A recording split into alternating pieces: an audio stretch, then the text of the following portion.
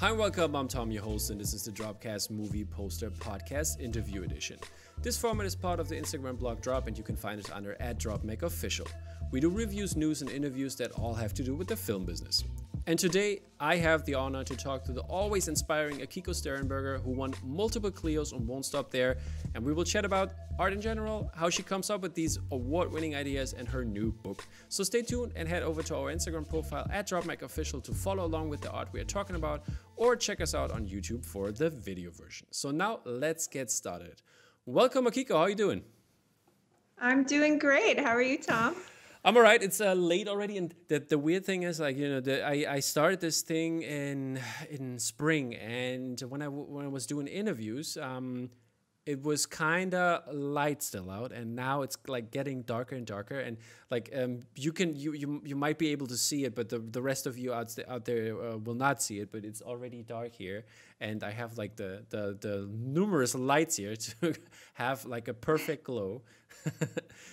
and look perfect. But yeah, this is every, everything except that uh, that the weather and the season is changing is everything perfect over here. But how, how's it with you guys? How's how's uh, how's uh, LA doing? Um, we're hanging in there. I mean, uh, just to make you a little bit jealous, about three days ago it was 100 degrees Fahrenheit thank over you, here. Thank you. So, we have like 60. yeah, about 60. So uh, it's just starting to finally feel like fall or Los Angeles' version of fall, Yeah. which I'm enjoying. I love it. Yeah, So- it is. It's a good time. I, I I remember that like like cold mornings and like uh, nice and uh, perfectly temperatured um, daytime uh, um, weather condition. That was it was good times. Yeah, and I realize that I should not be complaining about weather at all living in California, but um, But but Yeah. but first question though, do, do you live in a house? Do you, do you have like a garden or garden access that you, can- you can at least use in this Corona time? yes, I have a backyard. Thank goodness, that's been a lifesaver, especially a, a three-year-old Yeah. stuck in the house. So, You have a you have a kiddie pool as well then. um, a tiny, tiny kiddie pool, maybe about you know uh, less than a meter wide, um, but it's enough just to cool him down and, and make him feel like he's somewhere else. Perfect. What what what is his favorite toy though? What what does he distract himself with? he loves anything trucks right now. Trucks. Okay, so Trucks, trucks. is what, what isn't there like like Cars for example? The movie Cars is that is that his thing? he loves watching you know cars but he he's not yet at the age Okay. where he can sit through a full movie yet Sure, the the but shorts. he can tell you yeah and he can tell you every type of truck and i'm learning just by osmosis um, osmosis what you know a, a car transporter is what a front loader is it's, it's Interesting. crazy Interesting. yeah So yeah, many new things in this Corona time. definitely We're all learning. Um, okay, so the, the podcast usually works like that. I, I always pick like three different uh, artworks of yours, and uh, you will tell me a little something about that.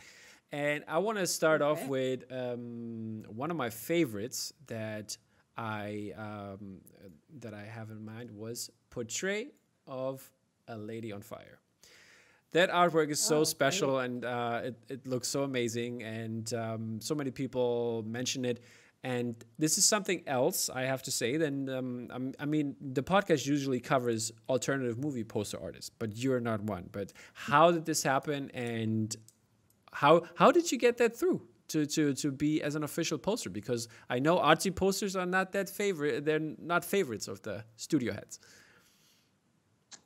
You know, that was a miracle in itself. Um, I had worked with Neon previously, and um, I was actually brought into this project after they had a main one sheet. So that's also where luck was on my side because for a secondary poster, um, designers get room to play a little bit. And so, um, you know, after I, I saw this movie, I had, uh, of course, a million ideas because we're dealing with a, the story of a painter. And, but I narrowed it down to maybe four concepts that I presented to Neon. And my first idea in that presentation was this flame, uh, optical illusion. And um, I can't believe they went for it. I, was, I was so excited. Um, you know like like w- with any designer when they present their work there's always this part of when you send off a presentation where you're holding your breath because you don't know what you're gonna get as a reaction mm-hmm. um, and i didn't get a reaction right away but when they when when when they finally did come back they're like why aren't we doing this idea this is brilliant mm-hmm. and uh, i was so excited so excited to do it okay and um, is is uh, i mean it looks uh, like oil painted or some some form of actual analog. Um, did did you do it analog or did you did yes okay well i started off i started it started off analog i, I did paint it with acrylic paint because that's okay. usually the medium that i'm i'm i'm the most comfortable using mm-hmm. and i just could not make it feel dimensional mm-hmm. enough so even though I painted it and I scanned it in, um, I felt like it needed something more. It felt too mm-hmm. flat. Mm-hmm. So um, what I actually did was uh, find stock photography of of oil paint dabs, mm-hmm. And um, I composed it digitally on top of ah, my okay. painting so that it really really got that yeah. look. Because even even the things I was scanning in, no matter how thick I painted it or how I tried to photograph it, it just mm-hmm. wasn't giving the look that I wanted. And so, um, luckily, the stock the stock photography really helped me bring that yeah, it, it, looks it looks very uh, 3D or three uh, three dimensional in that case, and uh, I think that's it's a brilliant minimalistic take on this this uh, this movie. And uh, one more question though on, on this one, it it has this Polaroid style feeling. Is that is that something you wanted to do, or is it just something because of the framing you just it just came out in the end that way? Um, I think. I mean, I love framing posters that way mm-hmm. because it always reminds me of old posters that I love and I collect. And, you know, part of I, I kind of fall back on that framing quite a mm-hmm. bit, but also it it was used to help also bring attention to the title mm-hmm. treatment mm-hmm. because sticking a title treatment on the painting it, it I, I wanted the title treatment to feel separate from the art so that the art really just felt like a piece of art instead of like a poster, you know. Yeah. And so. Um, and was it necessary that you had to do the um, the credit block because, like, I know, um, for example, for the Empire Strikes Back one by Matt Ferguson that just came out for the 40th anniversary, uh, he had to do the the credit block on the official poster, but he was not allowed to do the credit block on the printed version. And that's. Wow. Um, yeah, if, if I remember correctly, we originally I originally had the credit block mm-hmm. on it, but then Neon decided that we didn't need it, and so we just kept it very simple with just the logos of the company okay. and just the name. So yeah, yeah, I think it suits it even better with the with the whole minimalistic style, and then the credit block would would have destroyed that feeling. I have to say. Yeah. Um, but yeah, yeah I was so lucky that they went with it. Um, you know, at that point, it was the second time that I'd worked with mm-hmm. Neon, and the first time I had worked with them, we had done somewhat of a minimalist poster as well. So, um, so I was really excited that they, and and it, and it was an optical illusion too. So I was excited that they were, you know, mm-hmm. willing to do that again. Yeah, that's great. Um, the second one I wanted to talk about is, I really love that film, Thirteen Assassins. Okay. That's I mean it's it's something I wouldn't have seen coming in that regard that because like like some some movies are in there that I wouldn't say wow you did that? That's interesting. Why it's like how first of all the choice or is it was it just a job? Because I can't imagine because I think you everything you probably start uh, because you're working very artistic that it is um, has a has a meaning to you in that regard. Is is that so or? Um. Yes. I mean, obviously, I I have a little bit of a history with Takashi Miike. Okay. You know, because like uh, when I was in uh, when I was in uh, design school, I would watch some of his films. So when this project came to me, I was actually um, hired by a movie poster ad agency ah, okay. to bring me on to this project. So I was excited to switch it up a little bit from what I'm used to doing because at that time I was mainly working on very art house films or even horror films. So to be be brought in for this movie, I was like, I don't know if I'm really the right fit for this movie, but I'll try, you know? And um, I think just just looking at the unit photography and and um, I came up with this crop of just having all this action, but without seeing all of their faces, yeah. you know, and, and um, I didn't think they would go for it, and they did. um, you know, the original version I had was a black and white mm-hmm. version, but um, I think for the actual one sheet, they made it color and they changed the logo. Oh, they did but, okay um, because yeah yeah I have the black and white version as well, but I don't remember for the, the like I don't remember a colored version. And there's also a second one that's also by you. Or is it just a comparison for the movie? That's also by me. That was one that was presented to to okay. Magnolia, and it didn't make it to the final stages, but the black and white did. Okay, I see. But yeah, I I uh, how how did you like the movie then? Um, you know, uh, I grew up with like samurai movies. You know, how's that? Uh, my brother loves. Okay. Um, for me, it you know it's. I think with a lot of his films, they're they're like over the top violent for mm-hmm. me, but I can appreciate them for what they are. Okay. And I always think they're done in a very artistic way. So um, so yeah, it, I was excited to work okay, on it. Quick side question: What's your favorite samurai movie? Oh boy. tough question, huh? that is a tough question. I mean, I really have yeah, to. you're not allowed to say Seven Samurai. That's too easy. yeah, you know, I'll have to think think back because I, I mean, or do you, do you know so what little. your brother's uh, favorite movie is?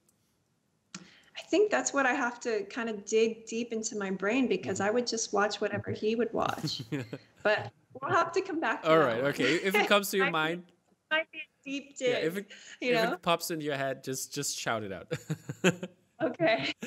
okay, uh, and the last one for this round would be obviously everybody's talking about it. Your funny games poster. What's yeah. the story behind it? I mean, you you explained it a little bit in Eileen's talk, but uh, let's hear a quick version for it, so we're not going to bore the people. Okay. Um, so this was very early on in my movie poster career. Um, I had just quit a full time job at a movie poster agency, and they hired me to be a freelancer on this project. Yeah. And at that time, my thing again was more art house and horror films. So when this project came in, I, I was pretty excited about that, and I actually made a few different designs for this for this film. But there came a point when the director, Michael Haneke, uh, wanted to really focus on this specific film, this specific uh, shot in the film. Mm. And uh, they somehow assigned it to me because what we had was just the tiniest little screenshot. Mm-hmm. I mean, teeny tiny. 150 and, by um, 150. if that so like you know when you zoom in it just turned into a mess yeah, I, I was just about and, to ask that way because it was uh, the movie came out in 97 so you you probably did the poster in 97 or 96 I don't, I don't know when it was released in 97 but um uh, technology wise how? Maybe oh, that's well, an interesting see, insight the... for the people out there that just know all the cool digital stuff now Oh, well, I think you're speaking about the German version because uh, I was working on the English speaking one, which was in 2004. Oh, okay, okay. yeah, because he remade his own film. okay, okay, got it. Yeah, yeah, yeah. You're right. You're right. That's the, the, ori- the yeah. original version. I was like, I'm not that old. but, uh, um, but yeah, so um, he he expressed interest in this this this uh, scene, but it was unusable. Mm-hmm. And of course, the agency was presenting a bunch of other ideas too. And so I decided to, I'm going to try to make it work. And this was the first time that I worked in illustration doing it digitally. Up until that point, I wanted to only do things analog, but I was like, you know what, I'm going to challenge myself because this has to work. So um, what I did is just looked up multiple um, reference images of Naomi Watts and just tried to collectively build her face in my head and then illustrate this mm-hmm. poster so that it could kind of pass enough to present to, to, to the client. and um, it was originally just supposed just supposed to be a placeholder until we got the high res film grab to eventually become the poster. But of course, the director fell in love with my illustration instead, and um, there were moments when Warner Independent, which was the studio putting yeah. it out, wanted to add more to it. And luckily, you know, the director was on my side to keep it simple. And I would have never guessed that, you know, so many years later, people are still loving the poster and still bringing it up. And so it really is a, it really makes me so proud to, that and proof that less is always going to be more and it'll stand the test of time. Did, did you also watch the German version then? I did. I did and because what's your, um, what's your verdict? Actually, Which one is better? um, I mean, they're different. Even though they're sh- they're the same shot scene for scene, it, it, it's different, you know. Um, but um, yeah, I, I still feel they're different. But uh, Criterion Collection actually came to me a few years ago, and they said we're re-releasing the German version. Okay. Would you be interested in doing the German actress exactly how you did Naomi? Uh, and at first I was like, oh, I don't want to repeat myself. You know, I, I, I, feel strangely about that because that poster gave me my career. But then I think back and I was like, well, the director is repeating himself. So in a way, it does make sense to do it. So I was able to to paint the German actress nice. in the same way. Who was that? The exact. Do you know? Still know or? Know the name of the the German I'll, I'll find it out. I'll find it out while you're talking. Okay. Yeah. Oh, it's Susanne and, Lothar. I found it. And uh, you know, we I was so excited to do it, and then at the last minute, the Criterion Collection decided to kill it after all because um, you know the director's like, yeah, I don't want to do that again.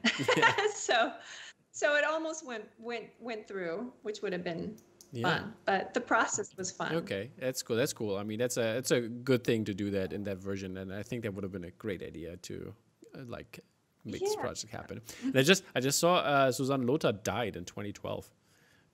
Oh wow! Okay. But yeah, okay. Uh, so she would have not seen her cool poster version of her.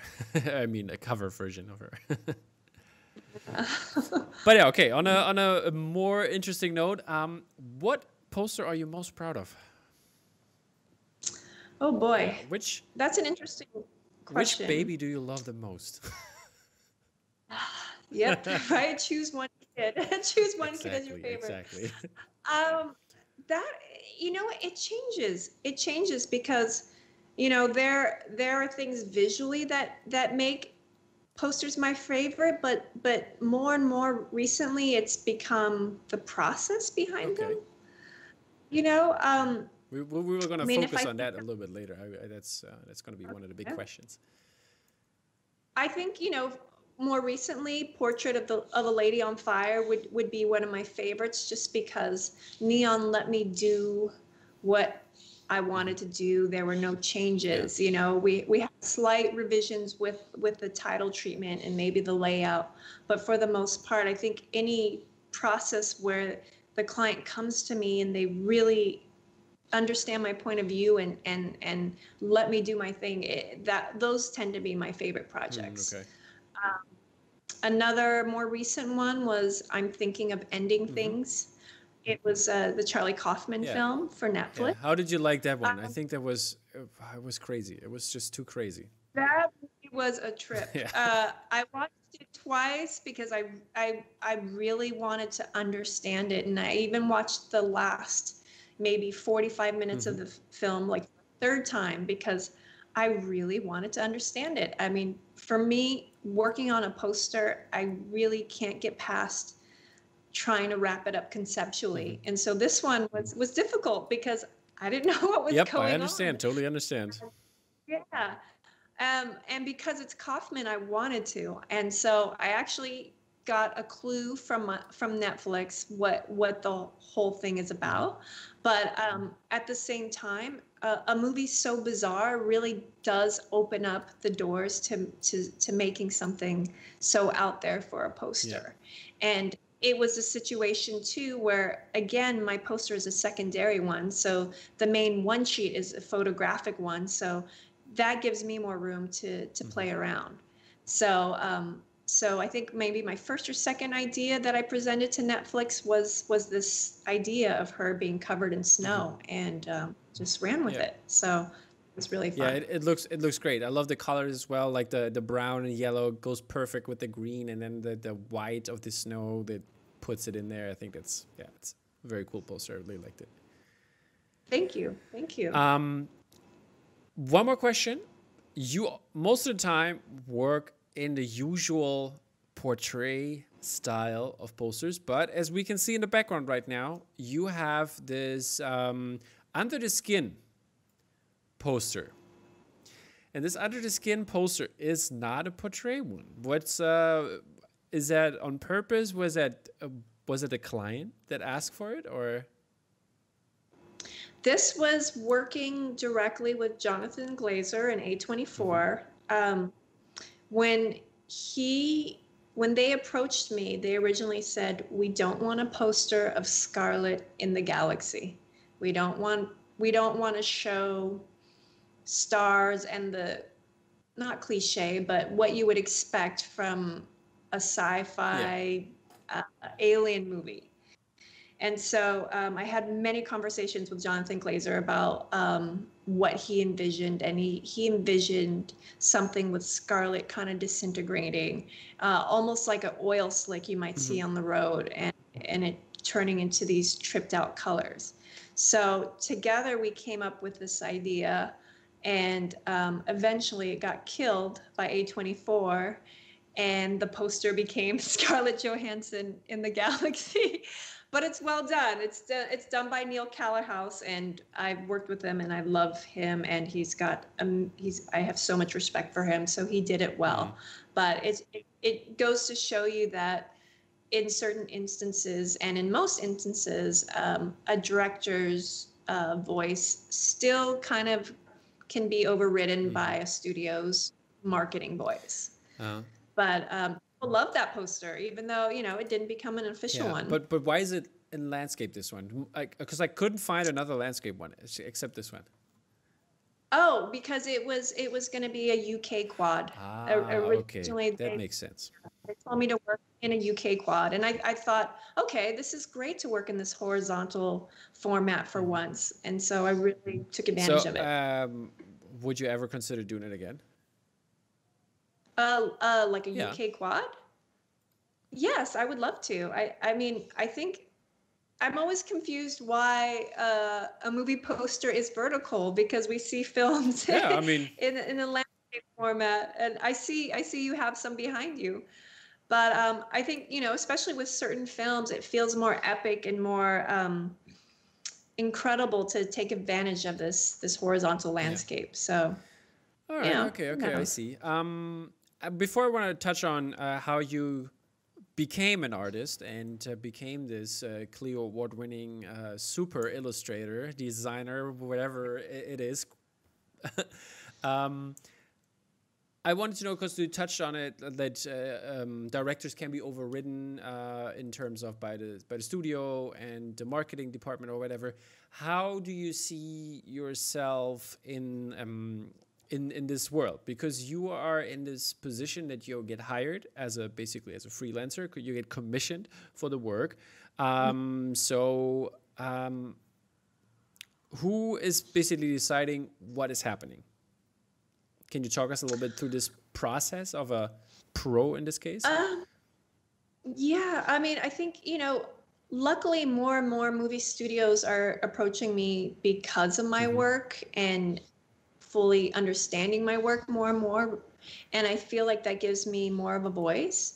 But um, usually, when I start on any project, the first phase of it is coming up with ideas. And there are times when a studio has, okay, like we want to go down this direction, but we want to see what you would bring us in this direction. And um, most of the time, I sort of like that challenge of like, okay, we're not completely locked mm-hmm. in, but there is a slight mm-hmm. guideline, and I want to see how far I can push that boundary within that gu- guideline. So I actually welcome it. Um, but there are also times when I get directions where, which I think like, oh, I don't know if I like this direction at mm. all. I'll I'll do mm. one along that direction, but I'm also going to present what I feel is right. And so there are times when I've been able to talk them out of that direction, and I'm like, all right, you know, I feel really good about that. Um, but I, I, have been really lucky in the last few years to to feel like I could speak up mm-hmm. more. Um, there are still moments where my hands are tied, like any designer, but for the most part, I, I try to push better work and better ideas as much as I mm. can. And um, I think that studios are becoming more open to them. I think they're paying attention more to the whole alternative movie poster scene. Um, I think they want people to collect posters again, and that was missing for a good amount of time. So um, I think they're they're they're more hip to to what's going on on the sidelines, and so I think they they want to open up to that. And I think you know more recently with them not just doing one one sheet and doing secondary posters, that also opens the door for more creative work mm. as well. So, um, I mean, you you said that Portrait of a Lady on Fire is um, one of your favorite posters right now. Um, would you would you pick that as well as a print version? That the, the, if, for example, one of the bigger galleries would say, "Hey, Akiko, let's do a print run of 150 screen printed." I'd be open to, to that. I, I think that Neon originally said they wanted to do something with it. Mm-hmm. So um, we'll see. Yeah, I think they have happens. a good contact with Mondo. Uh, and yeah, so do. maybe at some point. maybe at some point. I know people are asking me all the okay, time. Will, and so I, I, I will, contact me. Contact Mondo. I, I, will. I will have. Uh, I will have a talk with with the gang from Mondo. So I will. I will let them know. Akiko. Akiko wants the uh, wants our posters. okay. Um. So, uh, as I just mentioned, I wanted to wanted to know where did you start out? Are you uh, have you been drawing or artsy in that way since you were a kid, or where does it come from? I have been drawing ever since I was a little kid. Uh, my dad actually uh, was a is a um, automobile designer and illustrator. So I grew up watching him hunched over his drafting table, and he worked from home. So I guess also early on in life, I realized, oh, there can be working artists that are independent, and so that that definitely planted a seed for for how things could go for my future. Um, but but yeah i mean uh, my mom too she was very my mother was very creative even though she never took it to a professional level. She was always interested in all types of things. So you know i would come home one day and my mom would you know she was taking a theater makeup class and i'd come home from school and she'd have a beard you know? So i mean it was just the I, I feel very lucky that i was in a household uh, full of parents that encouraged a creative a creative child, you know, and and my, my siblings were are creative too. So um, are they? Uh, what going, field are they creative? Um. Well, my sister, she was an illustrator. Um, my big brother, for uh, for a few years, followed in the footsteps of my dad and and was doing automotive design as well, but he changed. And my little brother, he's more of a businessman, but he's also an entrepreneur. So he comes up with these very interesting ideas that people in his field, you know, they're they don't uh, they they stay within their confines of business, and my brother kind of pushes the boundaries uh, uh, of that as well. So I mean, we're all very creative. I mean, we're we're one crazy wacky family, so I think that helps too. But um, but yeah, I, I always grew up drawing. And I think when I was in high school, I didn't know what I was going to do for college. Um, and uh, I was going to actually join the army because I had no. yeah, I had, Akiko? I no, yeah, I know. Uh, can you imagine? I couldn't. I, I would be. I know. I hate exercise too, so I'd be terrible at it. well, just don't don't don't um, say that too yeah. loud because people are gonna get jealous yeah, exactly. Um, but yeah, I just didn't know where I was going to go. And uh, my mother suggested that I tried moving down to Los Angeles and, and trying to go to art school. Mm-hmm. and at first, when I applied, they laughed in my face because you know I was drawing cartoons. They wanted to see figure drawings. So school, I immediately what school, Art Art Center College okay. of Design. They used to have a European can- oh, campus in Switzerland. Okay. Um, so um, uh, they laughed in my face and they told me come back in a few years, but of course, when someone tells me I can't do something, I want to do it even more. So um, I took a bunch of night classes and figure drawing classes, and I applied the following term and got accepted. So um, I got accepted into their illustration program. And um, I was just about to graduate, and the last term of school, I took an advertising class. I don't know why. I had no interest in advertising, yeah. but um, it happened and my teacher actually told me if i had taken advertising earlier on maybe i would have switched to advertising so i never thought anything of it mm-hmm. because uh, after i graduated college i went to new york and i was doing illustrations for music and entertainment mm-hmm. magazines and um, i was doing them and, and you know freelancing dropping my book off everywhere and then september 11th happened and everything kind of went upside down but I continued to freelance as much as I could while working three other jobs. Did you, and did you back, um, uh, by then, or I went back to Los Angeles in 2004. Okay. Uh, I, I, gave New York a good yeah. amount of years, and um, when I moved back, I just needed any job, and a friend of mine was working at a movie poster advertising agency, so that action to that. But okay. um, yeah, and then and then how how did it pan out? What was the first project you were put on, or what is the first project that you remember? Well, I hadn't I didn't have any interest in movie posters at that time, you know, okay. and I was still freelancing as an as an editorial illustrator, but um, the the job that was actually open at that agency was for a receptionist.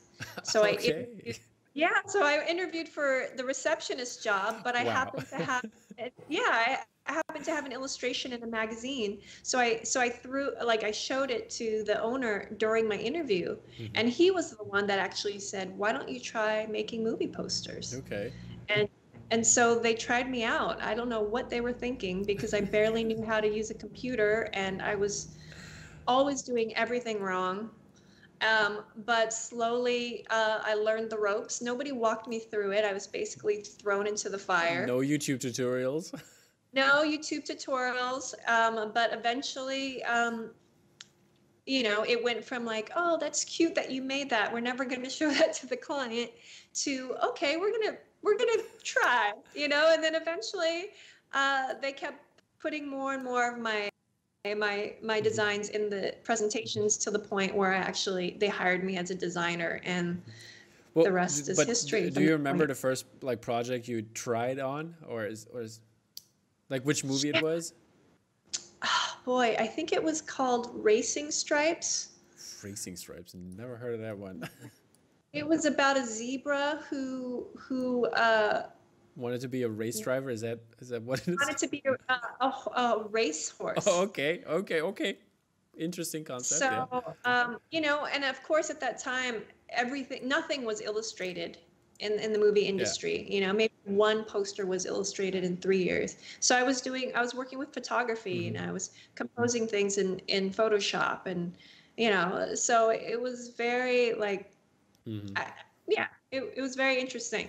But it's, I'm surprised but, yeah. it inspired me a million times. How, how do you see, for example, when you look at Drew Struzan, for example, who has been around for such a long time, did iconic posters before, all basically hand drawn because that's what he does, and uh, not made on a computer in that way.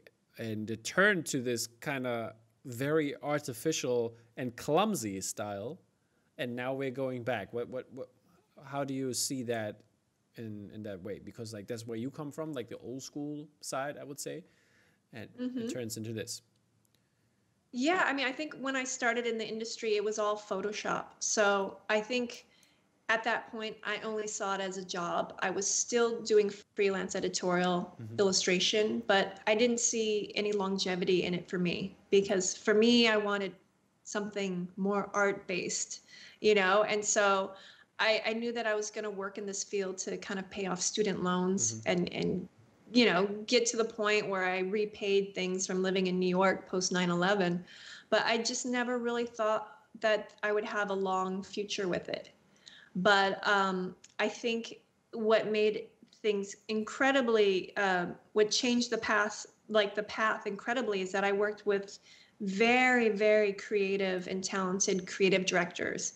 And we would get these art house films in the agency, and they would bring me on and they would help cultivate and help really you know they made me feel comfortable bringing more art into that and i think once funny games came out or once uh, you know more and more of my art house pieces became official posters yeah. i started appreciating it a little bit more but but yeah going back to what you said it, it was all photoshop at that point and um, illustration was you know i think barely happening and and so it's it's been interesting with all the all the uh, alternative movie posters like mondo especially to see that that's slowly creeping in over the last decade and becoming more and more. So I'm so happy that it's going back to illustration, whether it's digital or analog. I'm just happy that illustration has a voice what, in, in our industry. What was the, um, like, do, do you know what the opinion of those art directors who did movie poster at that time and they were pushing it for the photoshop or was it more like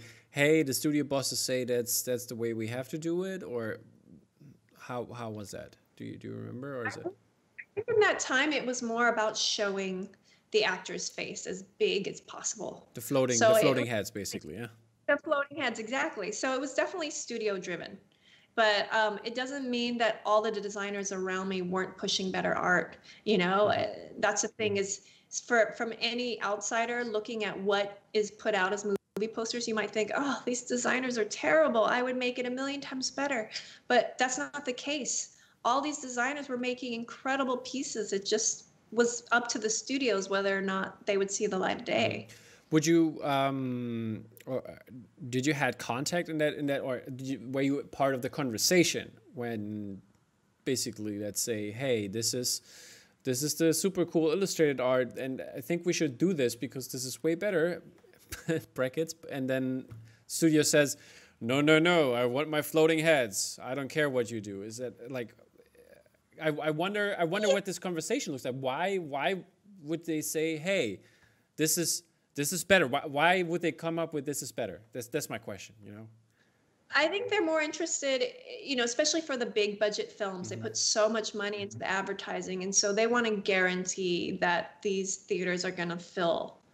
So for someone in the Midwest who's maybe not a, mm-hmm. you know, an artistic person, they see a giant Tom Cruise head, they know exactly what they're going to get and they're going to pay the money. So it, it was definitely more studio driven to to know to to almost follow this formula of knowing that this works and this brings in the money. So let's just do what works. And so um, very early on, you know, uh, at the agency I was working at, there were almost two teams. There was one team for the more mainstream, and there was one that was the more art house. And I think, you know, they slowly pulled me more to the art house once I figured out how to do everything. And uh, it was those projects that I was really mm. excited about, you know. Of course, I wish I could tell, you know, my family and friends at that point that I worked on this huge film, but I felt like I was more proud of the actual piece of art that came out of mm. it than the notoriety. And I still am. Yeah, like like th- like uh, coming back to the, the things you said that having the, the the people more notice. I mean, when you look, especially look at your breakthrough piece, uh, the funny games one, yeah, having now Naomi um, Watts, Naomi Watts is it right? Um, that yeah, that yeah. like that big on a poster and or uh, your b- biggest splash one where you have Tilda Swinton on or the her one where you have Joaquin Phoenix on, in the middle of it. I mean, um, they all have basically, but they're they're not floating heads, but they are good illustrated designed pieces. And I, I wonder mm-hmm. why why they didn't like you know want to go that route in that way. Why, why does it have to be so obvious and so cheap looking? Yeah, it's interesting. I mean, I think to quote one of my studio clients directly when I was working on this one project and we were doing illustrations of the two actors, it got so close to being the actual poster, but then at the last minute, they opened up the poster to a focus group. You know, they just pull in random people mm. and be like, what do you take away from this poster? And because it was an illustration, they thought that it was an animated series. so, eh, you know, it's, it's those things that you're just like, oh, Okay. good thing we have 2020. Did you? Uh, I just heard about this uh, new movie coming out on Netflix. It is like the first movie that uses like hybrid animation CGI kind of technology to do like this a war movie about World War II. I forgot the name, but it, it looked kind of interesting. I have to say, in the trailer, and it's some some kind of new technology they're doing. Do you know the name uh, of hold it? Hold up, I'll, I'll put because I'm I'm gonna uh, tape on uh, on Sunday. I will tape my my my news podcast in German, and it's called yeah. The movie's called The Liberator. Oh, okay. And it's yeah, on September 9th, uh, for, uh, 43, over 3,000 naval vessels, 150 troops began Operation Avalanche, the Allied invasion of Italy, German resistance, blah, blah, blah, blah, blah. And uh, the four part series will be the first ever produced in trioscope. Enhanced hybrid hmm. animation and new patent pending technology combining the state of art, a, C- a state of the art CGI with live action performance, and so on and so on. Wow. Wow, that sounds incredible. Sounds very interesting, I have to say. So yeah, and of course, I love oh, I love technology, and when things get get fancy. but yeah, so um, this is this is like this is basically when the people say this animated series, I because the poster for it is basically like some sort of animation. It's like weird that like you know that it actually exists what people think of your poster back then. You know. Yeah. But yeah, um, what was? Do you have a favorite floating head poster? do I have a favorite floating? Oh, you know, I mean, one that I'm not mad at is definitely uh, "No Country for Old Men." Yeah, yeah, yeah I remember which one. Mm-hmm. Because it, it looks like a classic old poster. So I mean, I feel like it was done tastefully. Okay, yeah, I, will give it that. And one of the worst ones, I lately I always come like when I have like when I remember this was one of the worst posters I've I can remember is um it was this year Spider-Man Far From Home was it this year? Hmm. Or was it last year? I don't remember, but it might have been last year. It was the Spider-Man one with Mysterio in it, and you know where they based for it was an IMAX poster. They had just a border of uh, the of the um, like some green border, and then every corner had a character in it, and a title in the middle, and it looked oh, looked awful. Looked like a like an intern did it in five minutes, and yeah. oh yeah, that looks good. Let's take this. Yeah, the more is more is more posters. Yeah, but it is what it is. Sadly, it is what it is. okay. Um, I just I think about one poster. I think about one designer at like a movie poster agency going, "Oh my gosh, kill me." Yeah, you know? I totally understand. If you have to do yeah. some stuff you don't want to do, it is like killing yeah. the soul, you know.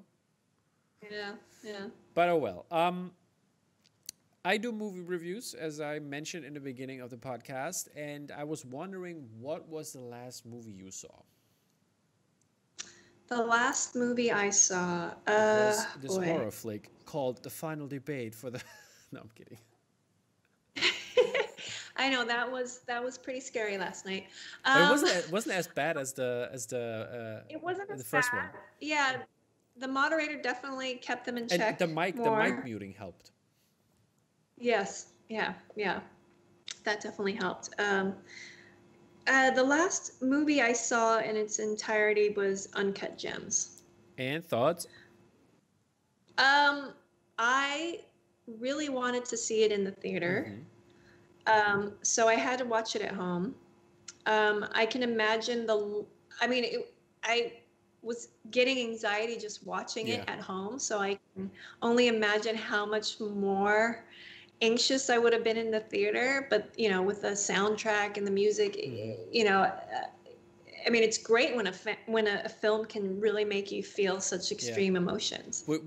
but uh, but yeah, that was the last film that I had seen, and um, I actually really like Adam Sandler in his more serious roles. Yeah, I, I loved it too. I, I saw Hubie Halloween, uh, Hubie Halloween that just came out like last week or whenever it was, and uh, yeah, that was old Sandler again, or like, or yeah. not, not this old Sandler, but it was like this, this Sandler where he does weird stuff. Yeah, I mean, I appreciate old Sandler for when that time yeah. happened you know but i feel like he's he's evolved so much since mm-hmm. so um so yeah I'm, I'm one of those people that love him in his more dramatic roles but yeah i like them i love the movie a lot and it's so sad that it got snapped like from the oscars and everything because like he definitely deserved something for this one oh yeah he was great in it he was he was excellent. Yeah. Um, the posters are also really great, and I I know for a fact that A24 put out some like I think it was an infographic or like some kind of infographic type poster as well for it and some other stuff as merchandise you can buy because they have very creative ways in doing stuff. Did did, did you see the poster? Uh, I saw the main one sheet, yeah. just the how, black and white exactly. one. His how did you like? How did you like it? I I am a sucker for less is more. And so I thought it did what it needed to do. It, it wasn't trying too hard, it, you know, and I, it's just simple and clean. You know, I can never be upset at something mm. simple. Little side note question. Um, do you do tribute posters, for example? Because I know a couple of friends of mine, they, they do tribute posters for movies they really like, but they never had the chance to work on, but they really loved it, so they just do something for it. Is, is that something you do as well, or like like at least sketch something, or? Um, I don't. I mean, um, I've been really lucky that my work keeps me busy, mm-hmm. and any any chance that I have outside of work, I'm going to be making entirely different work. Okay. But yeah, I haven't I haven't gone down the tribute fan art route yet. Mm, okay, okay, okay. I see. Because um, I was because I was wondering if you ever would wanted to do uh, uncut gems poster if you like the movie. Um, yes, but at the same time, I, I have so many ideas kind of mm. stored in my brain that I want to use them for real projects eventually, which right. I do. And so, you know, and after doing after doing movie posters for 16 years, um, I I like kind of being able to kind of dig back into those old concepts I had that never got used mm. and and try them for other things. Okay, so, fair enough. So who knows? that might change. okay, so if I commission you for uh, uncut um, screen print, I I could I could get you, yeah. Possibly. Okay.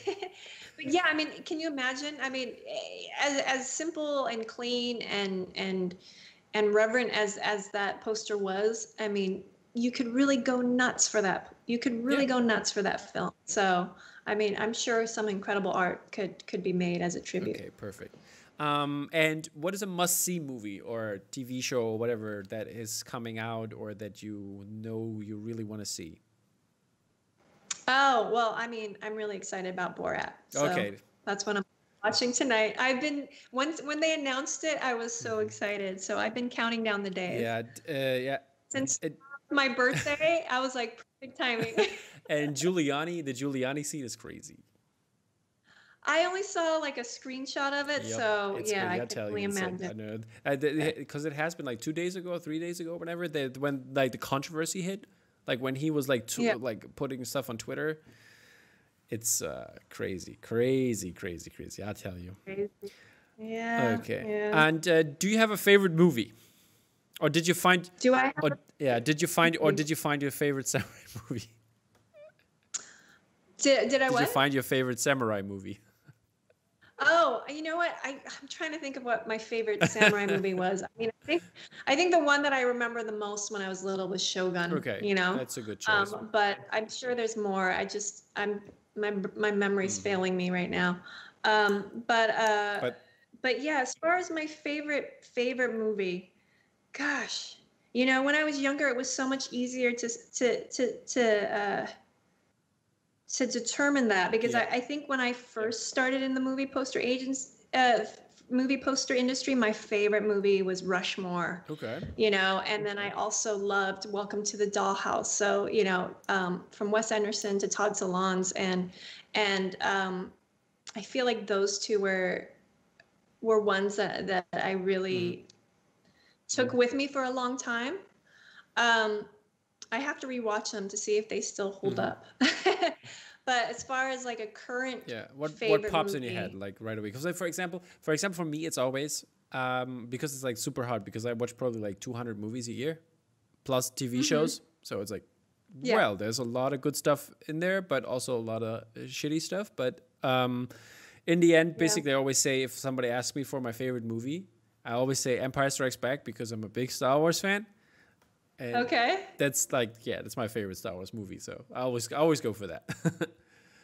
yeah, I mean, gosh, I don't know. I'll have to come back to that one. it's okay, sure. I mean, if but- I think about, yeah. yeah, Oh, is, is there something that pops in your head right away?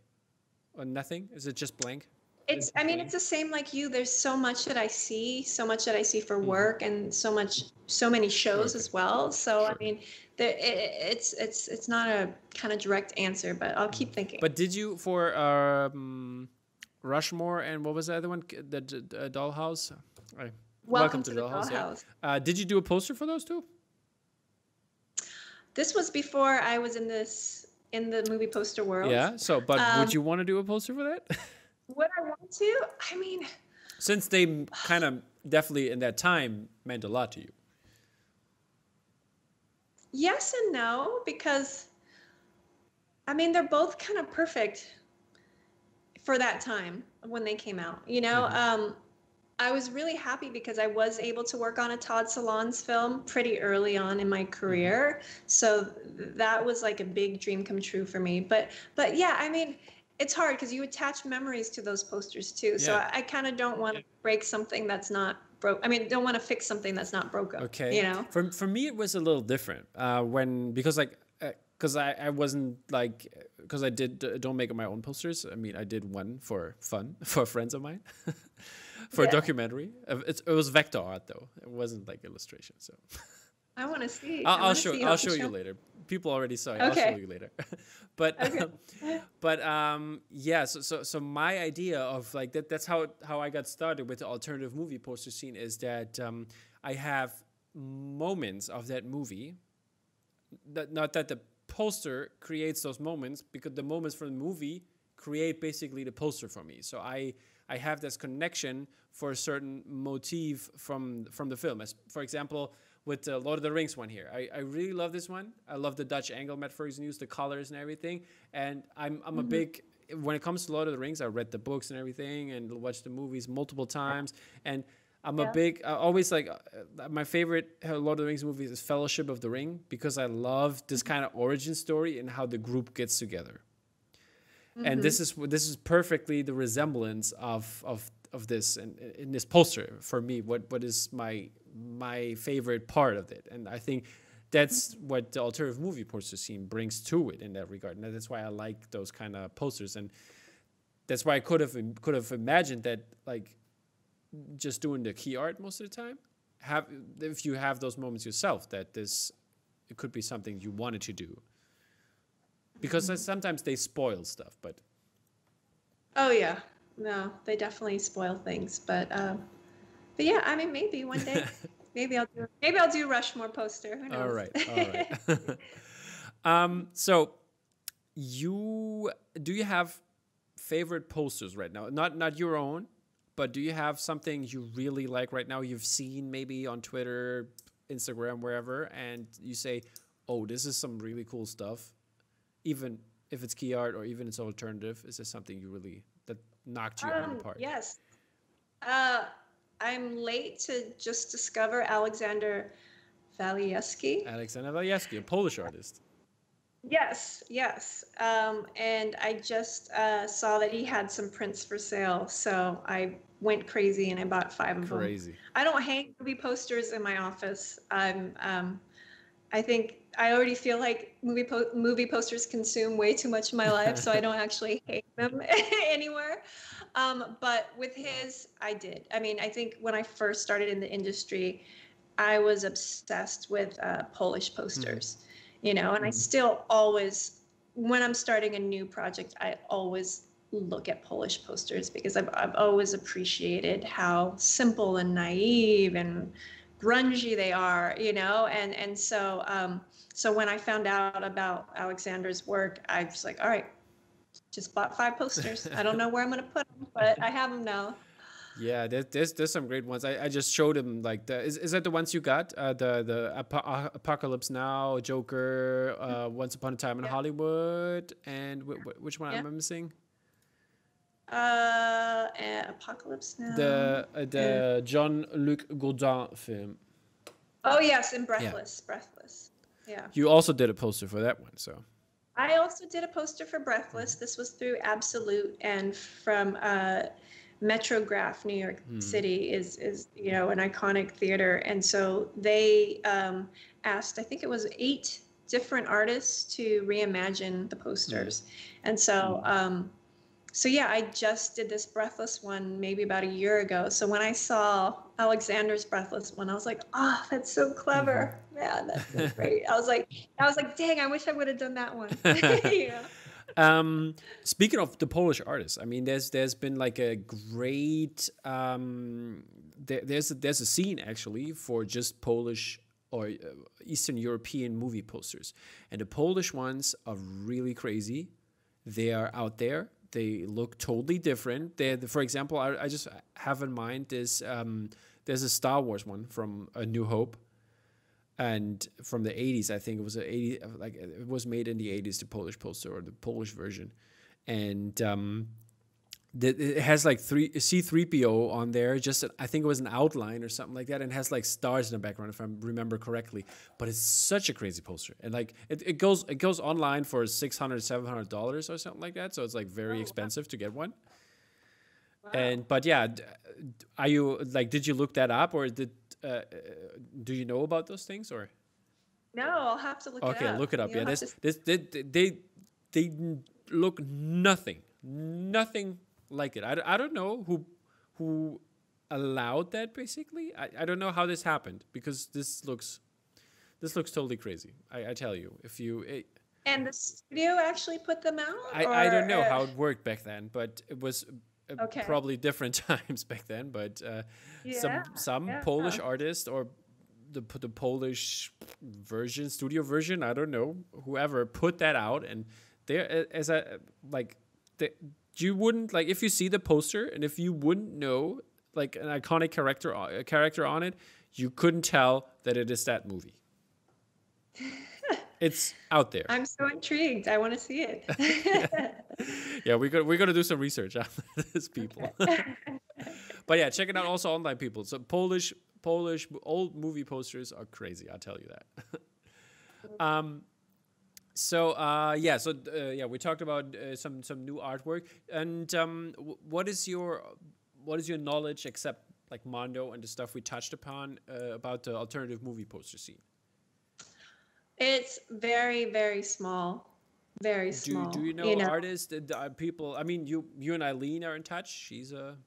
kind of in that direction. But um, yeah, so as how is that for you? Do you do you sometimes see something pop up and say, "Oh, that's great. That's a that's a cool design," and then you find out it's an alternative movie poster in that regard?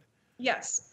I mean, um, I'm I'm fairly new to Instagram. I mm-hmm. just got on it two years ago, and um, so I'm discovering more and more artists. Um, yeah, I, by the way, people, I, I, have Akiko tagged in the in in the uh, caption, so check that out. Instagram, follow her. Thank you. um, but yeah, I think uh, maybe it was about uh, eight years ago. I was asked to be on a panel at South by Southwest mm-hmm. talking about movie posters, and that was the first time I met some people that ah, were some designers okay. that were Mondo, you know, that were part of the Mondo family. Mm-hmm. Who did you meet? And, and um, well, uh, the main guy. Oh my gosh, I'm drawing a blank on his name. drawing blank on the main Mondo guy, but then there was also Sam Smith. Sam Smith um, there yeah. was also Justin Erickson, which is Phantom City oh, Creative. Yeah, Justin. I just talked to him. His, his podcast is kind of yeah. He's great. Po- Him yeah. are amazing. Yeah, yeah, he is, and I, uh, his podcast is gonna come out before you. I think yeah, it's the one before you. Oh, great! So I'll yeah, it's, it it's Justin, yeah. it, Justin and his beautiful uh, wife Paige. They are they're yeah. in there, and they're and they are pregnant, by the way. So they get a kid now, right now. They are. They are. Yeah. yeah. So that no, they're great. Yeah. Um, and then um, more recently, the last two Comic Cons, I was on a panel with uh, Rory Kurtz. Oh, Rory, he was and on. So, uh, so yeah. Did you see his Parasite piece? Did I? Did I see his what? His Parasite piece. Oh, I am obsessed with it. I'm trying to.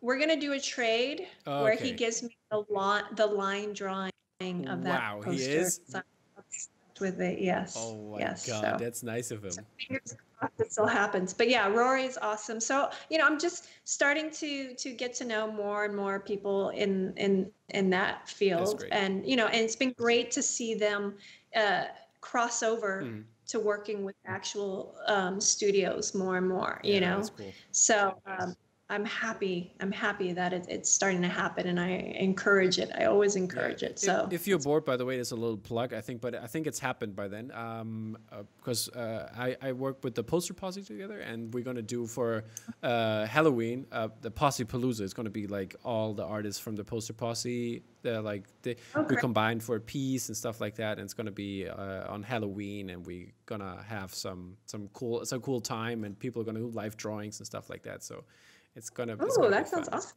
Definitely something. Yeah. If you cannot go out of the house, get some get some people in costume into your house on a screen at least. yeah, definitely.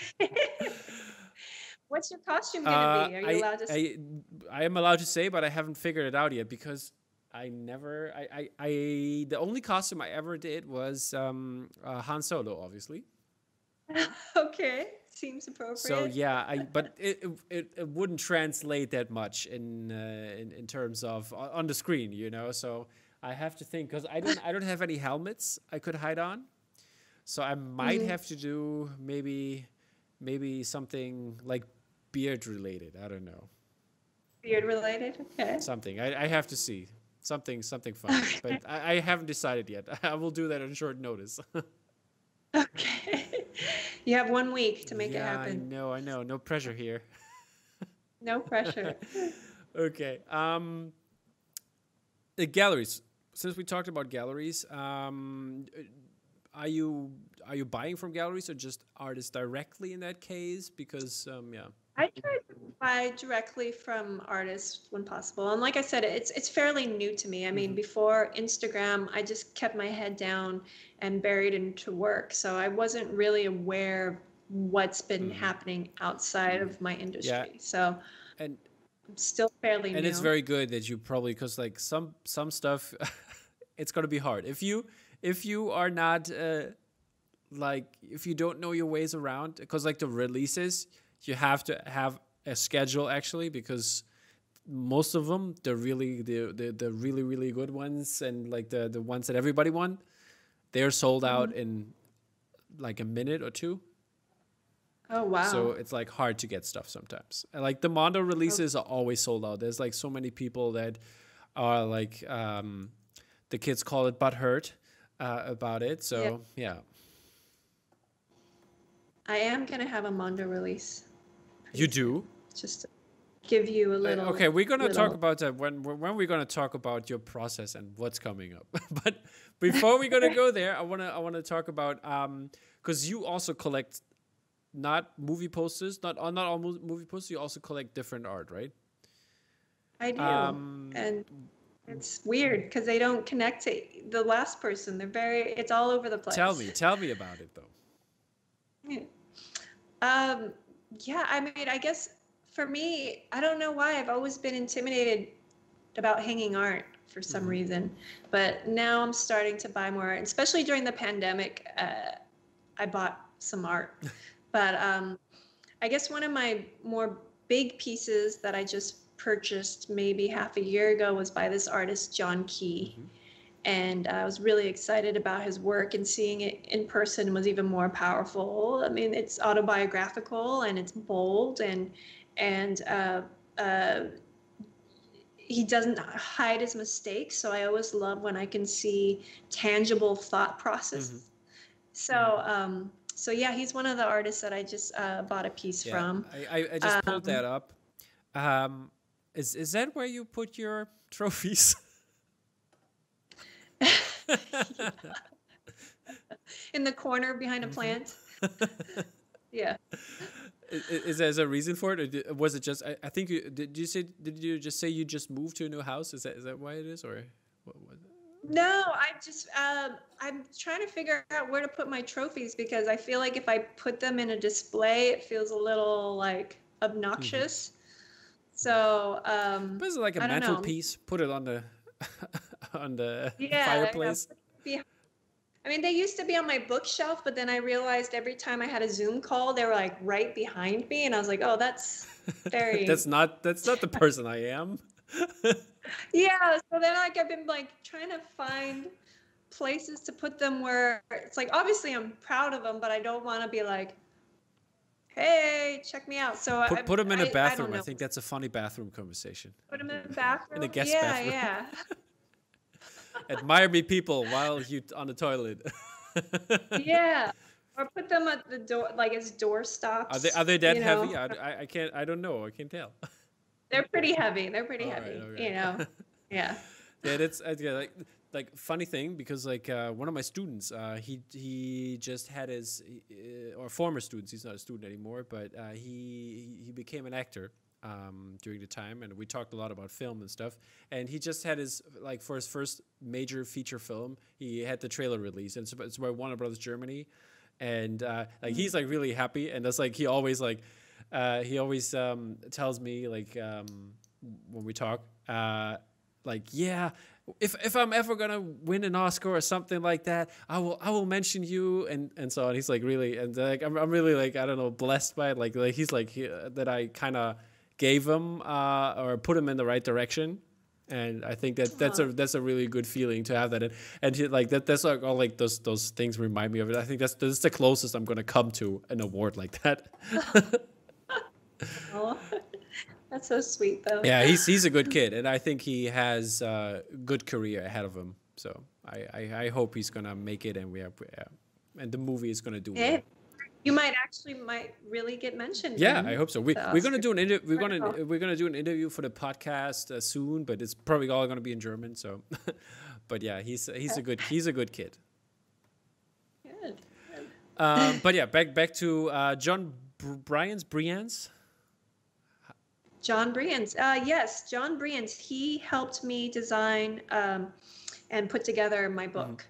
So um, I, I I have one of his pieces in my how, office. How is he related? By the way, I, I got the I got the book here, my friends, and it's it's a great book. If you don't have it, go get it. It's definitely worth it, people. Thank you. and um, I I, I, I lately I got a lot of books. By the way, I got I got the Liam Wong, the Tokyo book. Do you know Do you know Liam Wong, the no, pho- the photographer? He does he does um, he f- took pictures of Tokyo, and it looks all basically like Blade Runner, sci-fi. Oh wow! Photography. It looks super cool. And I got um, I got the spoke art book, My Neighbor Hayao.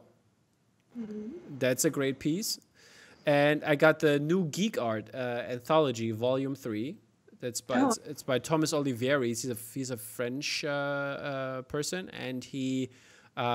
I think yeah, it's the third version of it, and he basically collects all the different artists from like, like who does pop who do pop culture art, and puts them all in that book so to display and get to know some new ideas. It's very cool. I can tell you that. Oh, right. let's check him out. Yeah, but how is he as an artist involved? How, how did the book happen, and um, how's that connected? Oh boy. Okay. So I guess a few years ago, I I keep saying this. I keep saying, "Oh, I'm going to get out of this industry." You know. and uh, I remember this one uh, director that I worked closely with for this horror film many years ago. I was in conversation with him saying, "Yeah, I'm tired, I'm exhausted, you know, mm-hmm. movie posters they've definitely treated me well, but I want to see what else I can do." Mm-hmm. You know, um, and I'm thinking about quitting it. And he's like, "Well, before you quit, you got to put to, you got to put a book out of your stuff and have that be your kiss goodbye." Okay, wow. Is is is that is do you want to say something with that now?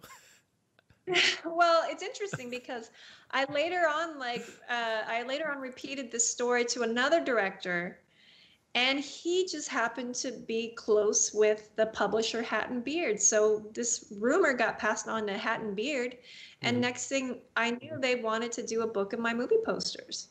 So um, at first, I was so nervous about that because you know, in my industry, people don't get credit for things.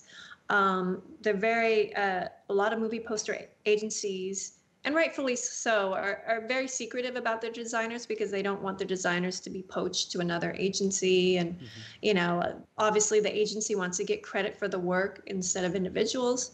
So I was a little unnerved about about possibly doing this, but at the same time, I remembered that most of my work is illustrated, so it, it's a little bit different. And so um, somehow I thought, okay, why not? Why not put this book together? You know, and, and, and you know, like I said too, I wasn't on any type of social media, mm-hmm. so I didn't know what would come out of it. I didn't even know if anybody would care. And I just thought, you know what? It'll be cool to have kind of like a tangible portfolio of my work. So the process started and all throughout the process I was like, I don't know if I should be doing this. It's making me panic. I've never put my work out there before. You know, I feel very vulnerable about making something tangible about my work. But um, even up until a month before they actually printed the book, I was like, maybe I should just pull out. I can't do mm-hmm. this.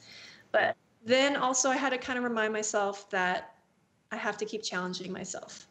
And right before the book came, came out, I was on this panel at Comic Con, and I didn't think anybody knew me because I was on a panel with you know some amazing artists that do the Avengers like Paul Shipper and all this stuff, mm-hmm. and I'm mm-hmm. this one girl that does like indie projects, so I didn't think anybody would even know or care to go. But as soon as our panel finished, these two women came up to me and they said, "We were so excited. We came just for you. Aww. We love that you're." Yeah, we're like, we love that you're a woman designer and we love that you're representing women designer.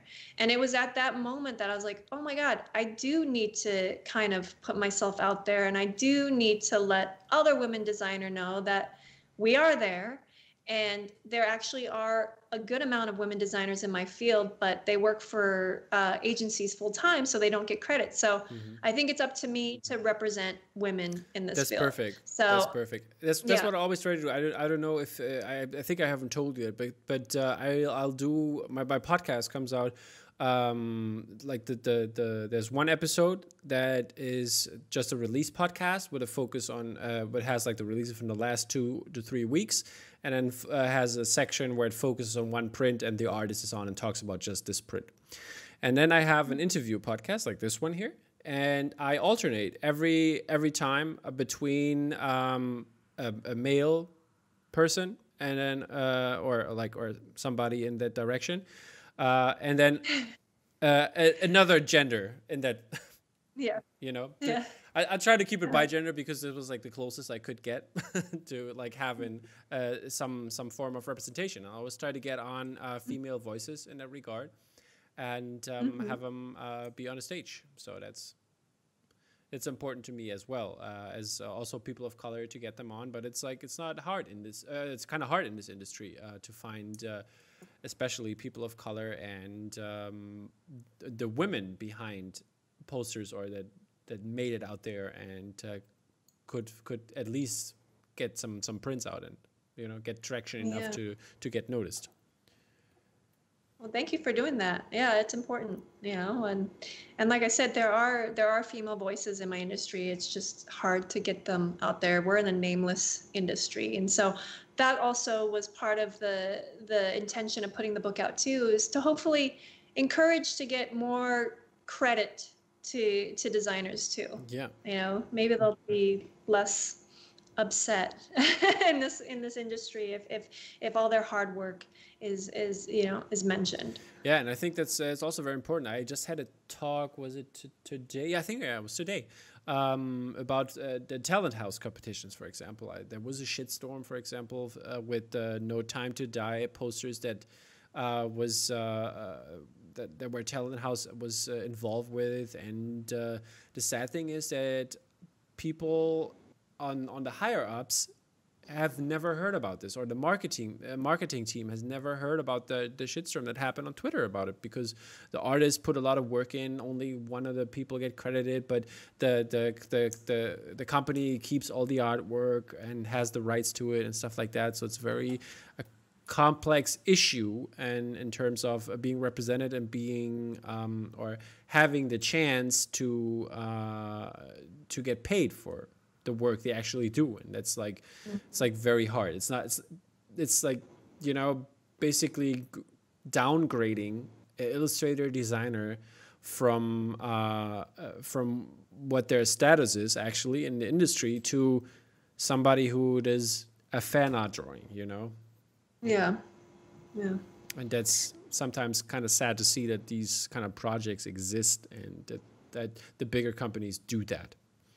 Yeah Hopefully that'll change. I hope so too. I hope so too. But uh, yeah, I mean, the poster posse is trying in that direction, obviously, to help the artists to get them seen and get them to to big studios and get them get them known out there. So I think yeah. that's a, that's a, one of the good things uh, that comes with a poster posse, and other people are doing that too. And there's like on Instagram, there's this um, there are a bunch of hashtags that go along with like uh, is it visible women hashtag visible women I think it is for for for female designers and also artists uh, artists supporting artists obviously as a hashtag and like there's this this in especially in the alternative movie poster scene there's a very tight knit community and people know each other very mm. well and um, they they help each other out like support the other the other one's work and stuff like that so that's very cool. No, that's great. I, I think it's it's important to help each other out mm. too. You know, I think people are kind of tied to this old uh, this old way of thinking that if uh, that there are only certain number of seats to fill. Mm. So you know, especially in advertising, it can feel more cutthroat.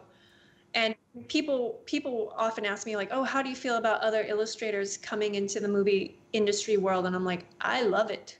I love it. I encourage it because I feel like even if four illustrators were assigned the exact same thing to do, we're all going to do it differently. Mm. So I don't see it as competition. I see it as a wave that needs to happen. I mean, I I love that there's more and more illustration happening in in the movie poster field. I love that it's getting more mainstream and not just to collectors. Mm. And and um, I'm happy to form an army easily. You know, so yeah. and before I forget, yeah. are you gonna quit now? Oh, okay. Yeah, going back to that. yeah. I'm not quitting now.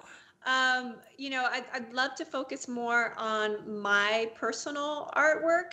Um, and maybe that'll happen next year. But um, again, going back to movie, the movie poster industry, it's been so kind to me, and I feel so appreciative. And especially after getting on Instagram and interacting with people that follow my work and and having people buy my book, it's it's kind of rejuvenated my my my spirit for it you know? Because before then i was like what's the point? Nobody cares. But to to feel that people care and that i'm actually connecting now with all these other artists mm-hmm. it's it's it's been great. It's been great to kind of feel like i have this virtual family. So now i, I feel like i can't let people down you know and i have to keep keep keep it up. So um yeah. so i'm thankful. Uh, i uh, in your book is also there is um I, will show that to the people here. Um, there's there are these there are these pages in there where you can see kind of the process and the ideas behind it, and I think that's really really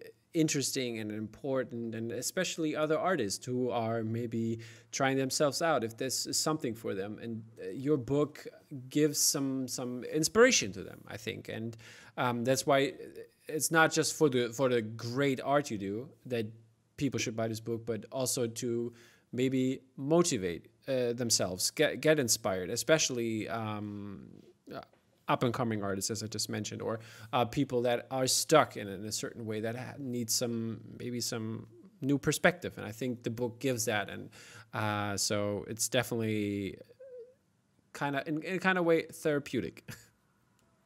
Oh, thank you. Oh, that makes me feel so good. Thank you. um, yeah. Um, you have also you sent me also a Mad magazine piece. Is that you did that yourself? Is that is that did I read that correctly? Yes, this was a piece I did maybe four or five years ago, and it's almost six feet mm-hmm. tall. Um, there is this art bookstore that had this thing where once a month they would feature an artist and it would be called it was it was called one artist one mm-hmm. wall and so mm-hmm. um, basically we could do whatever we wanted with the wall mm-hmm. and because the space was so large i thought oh i'll make a custom piece that fits exactly in that space and so um, i was trying to think i'd never had that open of a of a project before so of course i was over analyzing and, and spiraling about like what I was going to do for it. But then I just kind of narrowed it down to what influenced me early on creatively. You know, I, I, think back of, of, of when I grew up reading Mad Magazine, which most kids don't even know about these days. Did, but, did, they, um, did they stop it, by the way? Uh, that, you know what? Isn't that that's in the news? It's yeah, they were going to stop making the monthly yeah. issues. I think they may now do three a year and, and they might be compilations of old yeah. ones.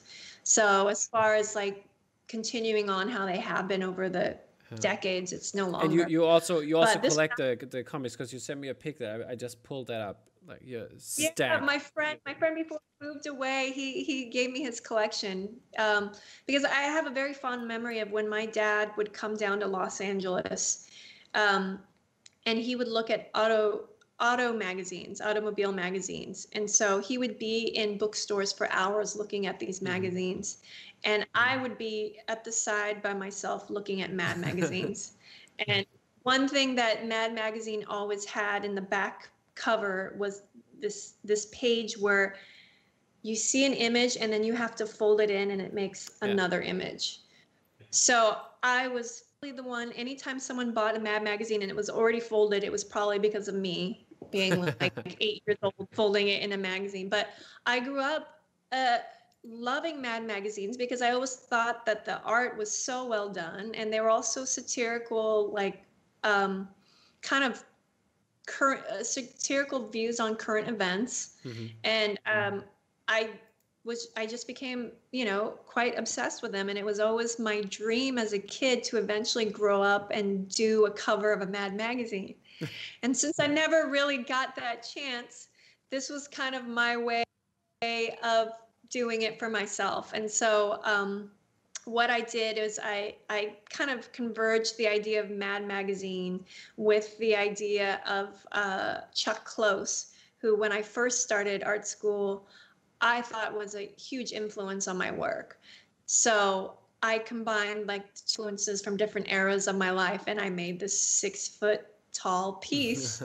uh, uh, you know a hybrid of both. So it yeah. was really fun to work big. It was fun to be away from the computer to do it. And um, you know it was a nice challenge for myself. So i was really proud of it. Yeah it looks it looks cool. It looks very great. Is, is it what what kind of material is like what, what how did you draw it? With, like a pencil chalk charcoal I used or yes, charcoal graphite. Okay. Mm-hmm. okay perfect. And um, by the way in the collection you can see two trucks. Are those toys of your son they are. he comes into my office every once in a while. I got to keep him busy. I see. Okay. But by the way, um, asking um, your your dad is he still alive or yeah, I hope so. Right? My my dad is still alive. Yeah. Um, is he is he designing trucks for your son? Not yet. Not yet. He. Uh, I think uh, that'll probably happen later on in life. And yeah. doing like those cool 3D models for him. Yeah, I mean, my dad, my daddy was one of the first illustrators at that time to use charcoal and marker together. Okay. So he still renders his cars exactly like that. And so I'm hoping, you know, when my son's a little bit older and can appreciate that, he, he might do a, a truck or some kind of illustration for my son. He would love it. That's great. And uh, by the way, speaking of uh, doing art for your son, did you do something for him? Um, we do a lot of projects for him. You know, during quarantine, we were doing um, more crafty projects because at that time he wasn't allowed to go to playgrounds and he still isn't. So I made him a playground out of cardboard boxes. Uh, my ex-boyfriend was moving out of my house at that time, so I had all these extra cardboard mm. boxes. So I made him like a playpen, and you know, we did a lot of things out of cardboard. Yeah. And what's great about it is that he can break it, and it doesn't feel so precious. So, you know, when he gets to an older age where he can, where he's not trying to destroy things all the time, I'll, definitely keep making him things. Okay, because like for example, um, I always like uh, when I sometimes I go through the releases and their um, bottleneck, for example, they have there's a gallery, um, they have um, they they made a Disney series. Uh, it's it's okay. twelve. It's yeah, twelve by thirty six or the other way around. Like not not the landscape but the portrait format and mm-hmm. um, it, it's like basically a, a, shot or idea from a certain Disney animated movie. And uh, I always like say, yeah, this is something you should put in your child's bedroom and stuff like that. Because like, and I was thinking like maybe did you do a poster that should go into your child's bedroom? I mean, I, I have a few different drawings that are in okay. his, his his his room at his at his father's house, okay. At my son's dad's house, because. Um, um, there was a period of time where my son and his father would only watch Moana. Oh, okay. So uh, my son's dad sort of looks a little bit like uh, Maui. Okay. So, uh, so I made a portrait of of Maui and the girl, but made the girl into a boy. Like I, I've I've I've drawn them a few times as, as different Disney characters, and you know, as the Simpson, Simpsons and How to Train Your Dragon. So I that'll see. continue to happen. Okay, so, yeah, uh, so, if you ever want an Akiko Stehrenberger OG Moana version, that was your chance. okay, um, I was wondering, is is there something, by the way, in your in your office? Is there something? Do you have it set up in a certain way? What what what do we? What do we? What does it look like? It's very simple. It's a desk with some books and a scanner, an oversized mm-hmm. scanner to scan in my paintings. But um, I'm only more recently trying to make it nicer because before it was just you know, I used it just to do my work and to leave. Like I didn't want to spend any extra mm-hmm. time there that I didn't have to because our hours are so long. Yep. You know, know, I I work weekends, you know, so I think it was more just to utilize it than anything. But now I'm starting to like buy plants for it. I'm going to repaint it and and and make it a little feel a little remember, bit more it's all grown ta- up. Tax deductible. yeah, exactly. That's right. So yeah, yeah. Let's. Yeah, but my office, like my office and my studio, I've been there for maybe nine years mm-hmm. now, and it's an old building. They actually there's a scene from Reservoir Dogs that was shot right oh, in front okay. of my office. And uh, the actual building looks like an old detective's office. It's all brick and weird carpet in the mm-hmm. main, like in the open area before you get to the actual yeah. our front door. But um, but yeah, it's, it's an interesting building, and and and um, yeah, we're we're just starting to make it look a little bit more like adults. okay. Do, do, do you share your office with somebody or with some other artists or? I do. Um, I share it with um, two other uh, independent movie poster you designers. Wanna, you want to shout them out and, or? Yes, Eric Buckham, who does palaceworks.net. And he collaborates with Caelin White, who is also part of Pal- Palaceworks, but does her own work, which is which is uh, CaelinWhite.com, and that's C A E L I N White.com. If, if you like, and if you have the Instagram, do they have an Instagram handle? They do. They will send it uh, to me afterwards. So I will, I will, I will put it, it in the in, in the, the, caption and stuff like that, so people can find them. Yeah, it's probably better than me spelling everything out. Exactly. yeah.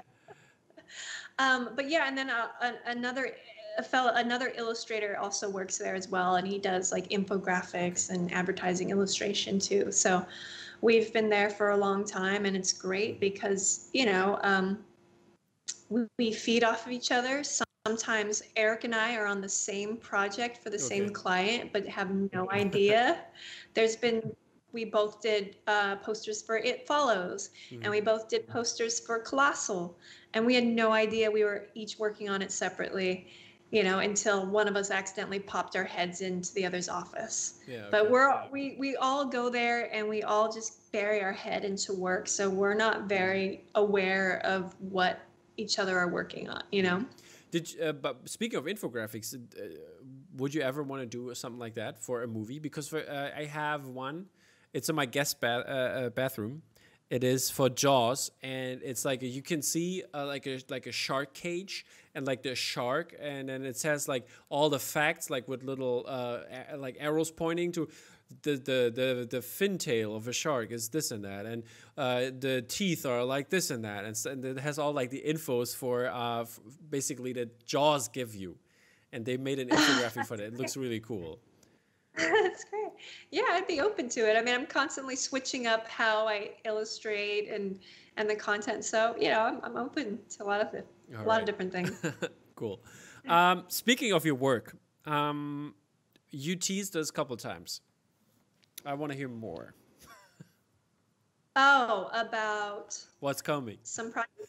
um, well, I'm I'm working on a project with Neon. I can't say what it is yet, but um, they will be releasing uh, posters through Mondo for it. So Googling So I- latest neon films. But is it something But that is already released or something that is going to come? Um, I believe it a poster may have already been, but um, I'm still in the process of painting it. So Okay, okay. just 2020 is your- we Palm Springs. I have that already. Matt Taylor did that, so that's out, right? yeah, yeah. It's so it's Possessor is done as well, so it's gonna be. I, I have a feeling it's gonna be bad hair.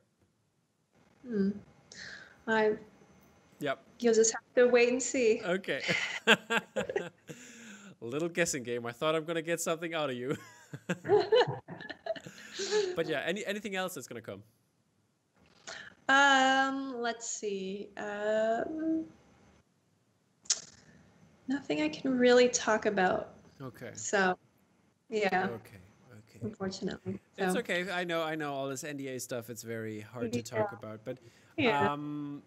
Then then let's go. I, I- told the people as in your book uh, how you approach your art, uh, the the art uh, in, in what you create.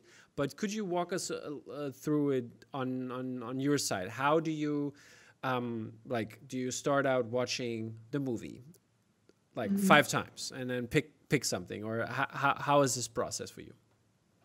Okay. Um, well, I'm hired at completely different stages of the actual production of the film. Sometimes they want to uh, get some kind of ad- advertising going before they even shot it. So sometimes I just get a small paragraph that summarizes the film. Uh, most of the time, I'll get scripts, and I'd say maybe 10% of the time I'll get a screener. And uh, rarely is it finished a finished project uh, product. It's it's it's it's always so fun to see uh, how much editing and music really make a film feel like a film versus watching a play. Yeah. Um, Well, how, how does so- it? Uh, sorry, did I interrupt you? But how does it feel in that? Uh, in terms, how hard is it? Like for there's different approaches, you know. Uh, ho- which is the hardest in that regard?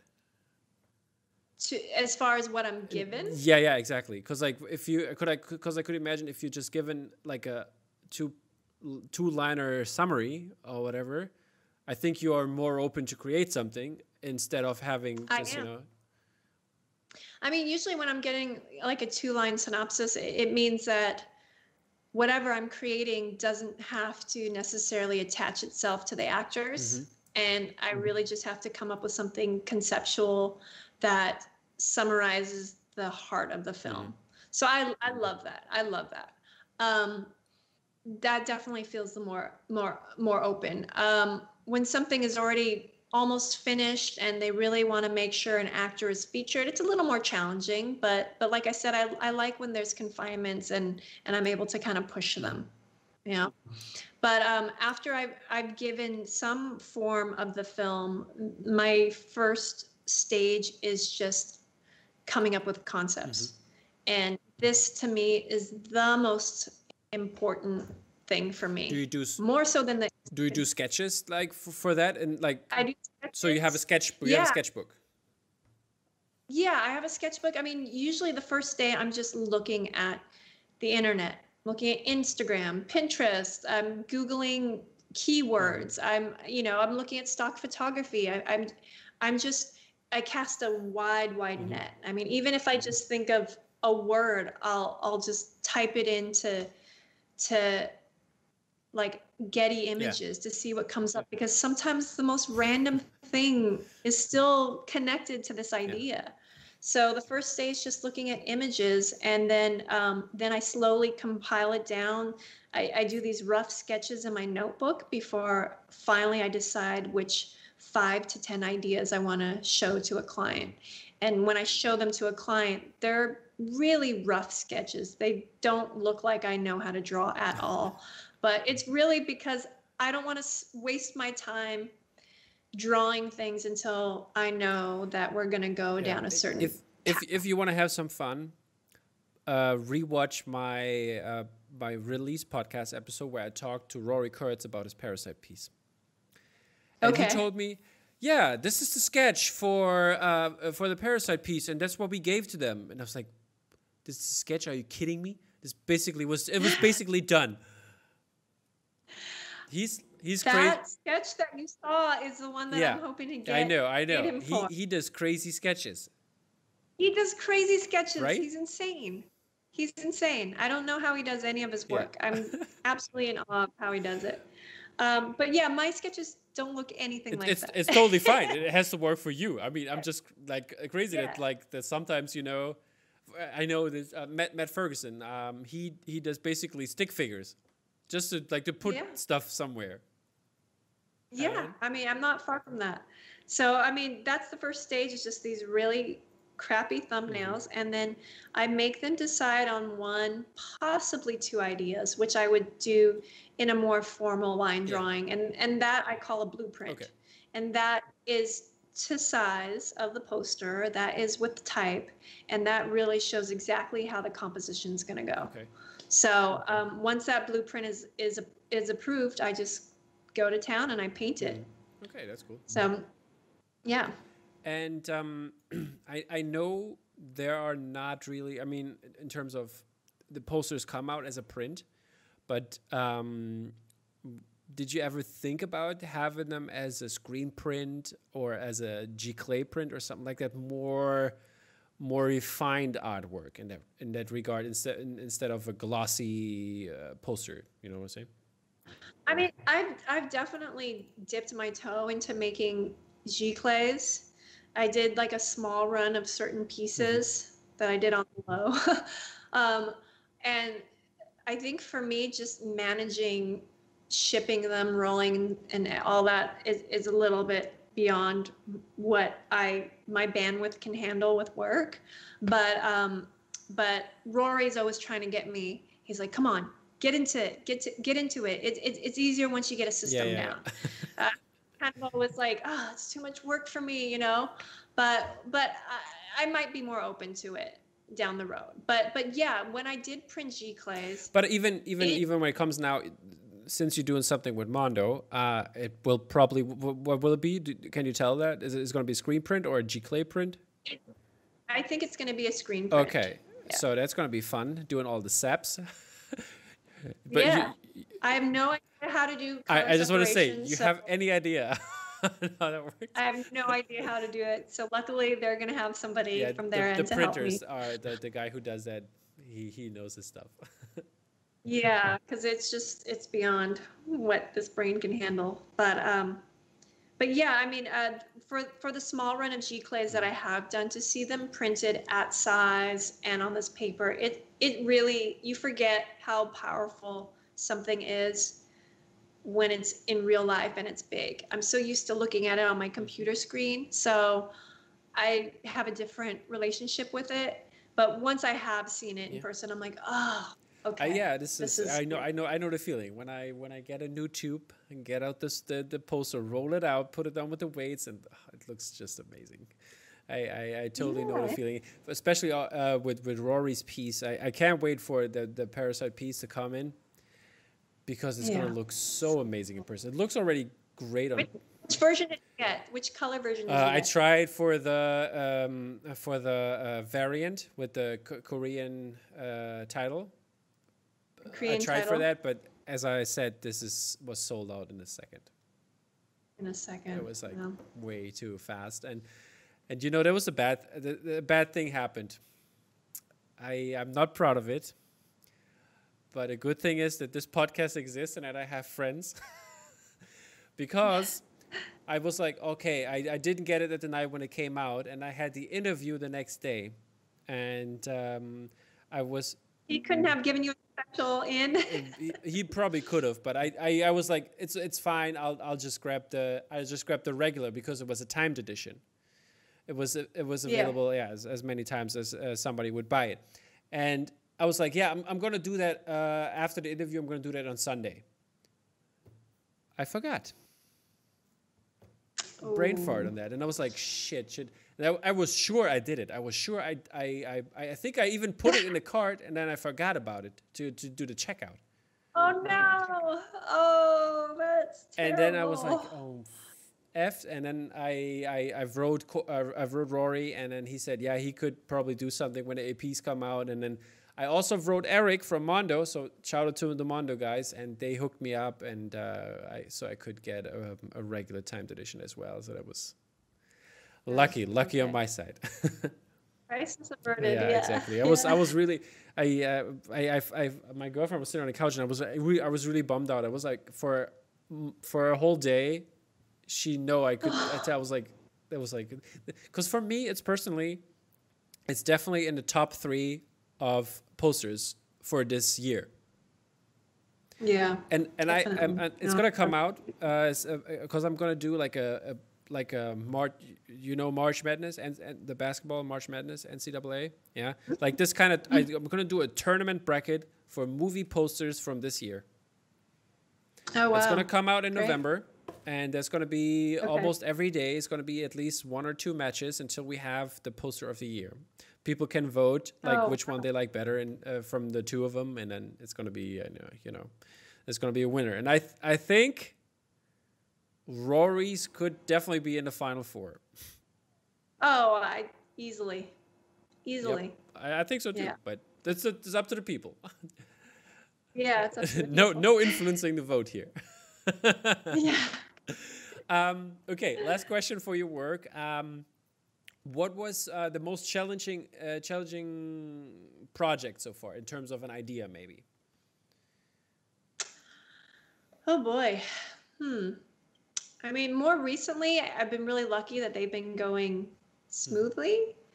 Um, I mean, one challenge was when I worked on The Last Black Man in San Francisco. I really loved that Great film. film, great and poster. Yeah. I was work- yeah, I was working closely with with Joe Talbot, the director, and it was the the two person one was more for A24. They mm-hmm. were very adamant about showing both the men, and I get it. It's a, it it makes sense. They're the two characters of the film, but I really felt it was Jimmy's story.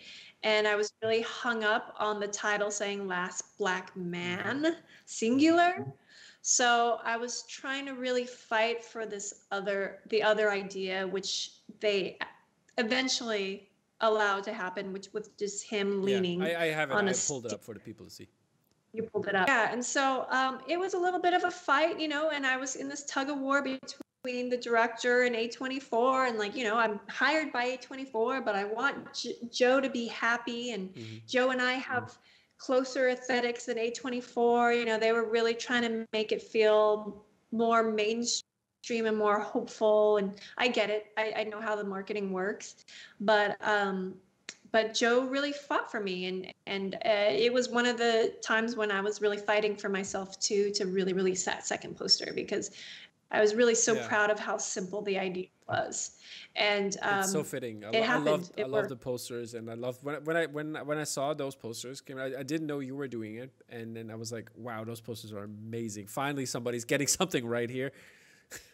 Oh, thank you. Yeah. So I mean, it, it was a struggle, but it happened. It Mm. worked, and so uh, I'm very proud of it. Okay. Yeah. Um, so, is there anything you want to work on besides movies, music, sports, advertisement? I want to.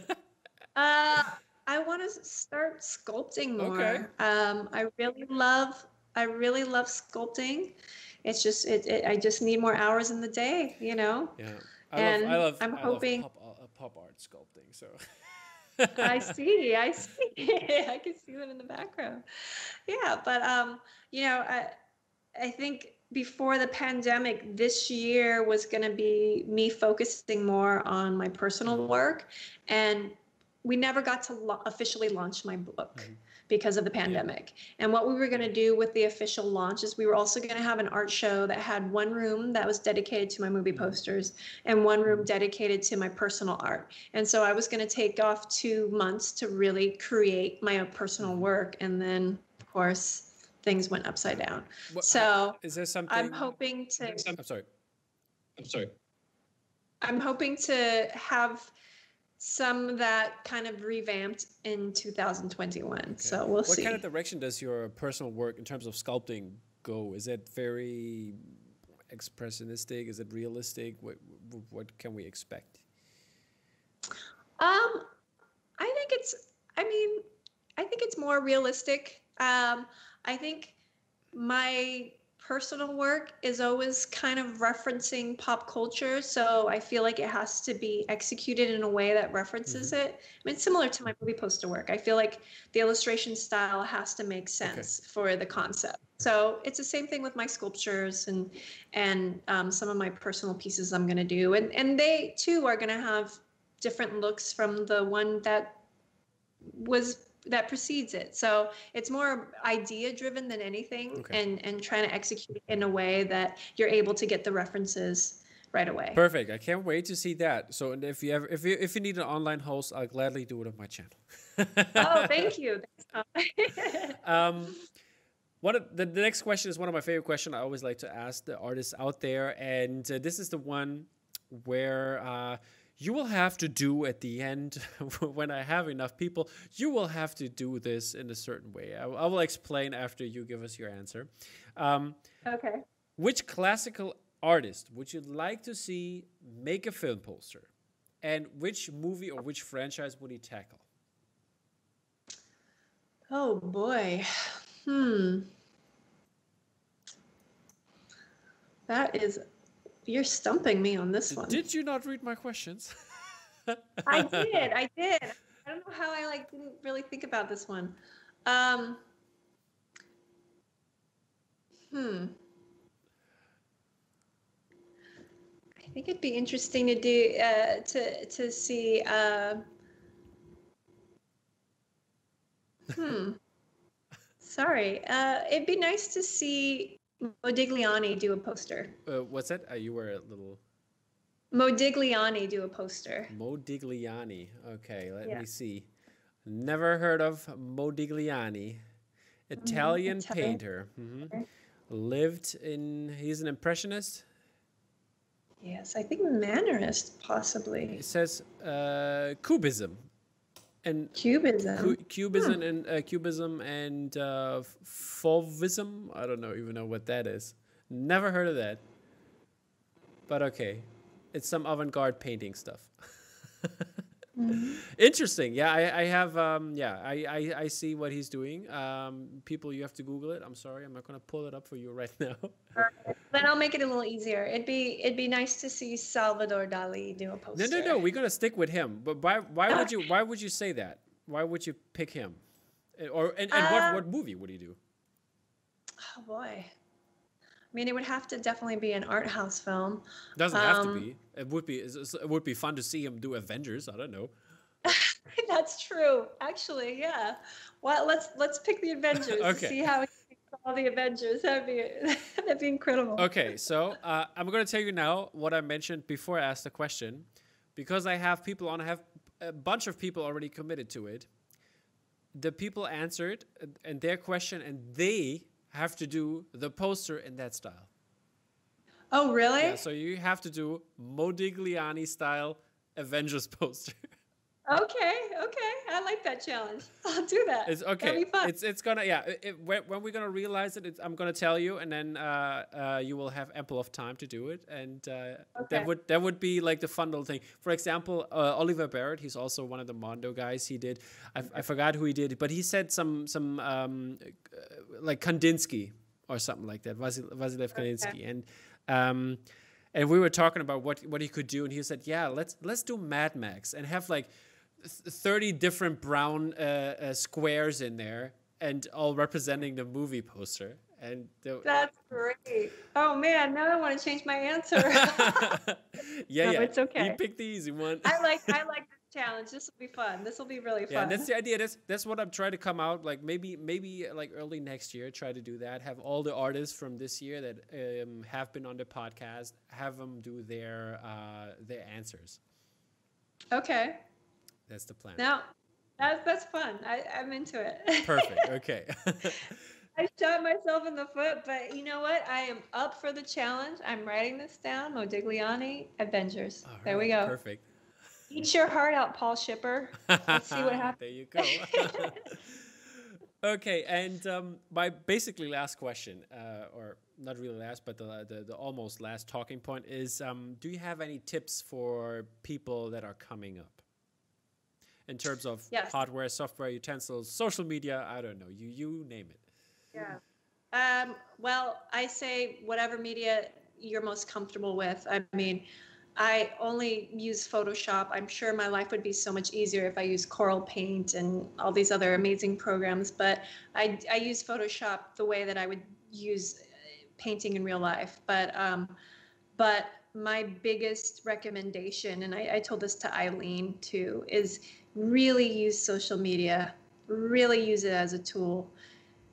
Even if you're not making real posters, make fake ones, put them up there. People people will see them. It's never been easier to get your work out there. Don't be shy. And as I'm saying this, I'm telling myself this because obviously I didn't join Instagram till 2 years ago for the same reasons, but it's, you know, it's important. Like this is this is now the new version of people's portfolio and really get it out there. No one's mm. going to find you if you don't put yourself out there. That's just how it is. There you go. Spe- speaking of, uh, f- do you have a Wacom tablet or uh, in uh, Cintiq or what, what do you use? I have a I have a Wacom in it, and it's a it's a, a large one with the with the yeah. screen on it. I think that is it a Cintiq. I don't know. I have no clue about no, this, but it's it's it doesn't have the screen. It's still I'm still looking up at my my desktop when I do it. I'm yeah, I'm not as advanced as the other illustrator in my studio. He That's has all the good, yeah. yeah. I, I, I know I, I know for a fact was everybody was working with that. For, and Matt Ferguson, uh, he changed to the to the Surface to the Studio Surface, which is where you have like a 27 okay. inch screen or however big that is, that is all touchscreen and with the Microsoft Pen, and he does wow. he does great work with that. So must be must be doing yeah, something right. Whatever people feel comfortable with. Yeah, yeah. It's incredible to see what kind of illustration is coming mm-hmm. out using those different different media. So you know, maybe one day I'll learn how to use it. All right. Um, before you leave, um, I want you to tell the people out there where they can find you, um, like on, on Twitter, Instagram, uh, wherever, wherever is wherever is good. And after that, you will have some time to shout out everybody you want your family, your friends, other artists, or just say something like, like you would say at the Clio acceptance speech. okay. Um, okay, well, I'm not on Twitter, but I am on Instagram, and my handle is Doyrivative, which you'll put down in this thing because I know it's the weirdest word. I don't know why I chose that and stuck to it. Um, also, my website's akikomatic.com. Uh, you can find my book uh, on hatandbeard.com, or for people in Europe, you can find it in Amazon. On Amazon, yeah, there we go. There it is. There it is. Thanks, Tom. Um, yeah, and as far as shout outs, um, as I mentioned earlier on, like until a few years ago, I had no idea that so many people were following my work, and and I've been really appreciating all the support and all the love and all the artists that I've been meeting through Instagram and through different, you know, connections. So it's really been pivotal in in kind of recharging my batteries in this industry. And so it feels great and I'm so thankful for it. And um, yeah, I I just can't say thank you enough to anybody who finds my work interesting.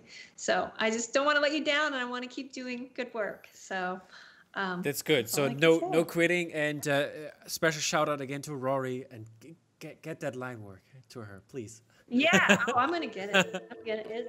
I'm Yeah. Okay, perfect. Okay, uh, thank you so much for stopping by, Akiko. It's been such a pleasure, a pleasure, and um, thank you to all the listeners and viewers out there. And tune into our next episode, and don't forget to subscribe to our podcast or IG page at DropMagOfficial or YouTube, and leave us some comments, shoutouts, or topics and questions for our next show. Okay, bye guys. Bye.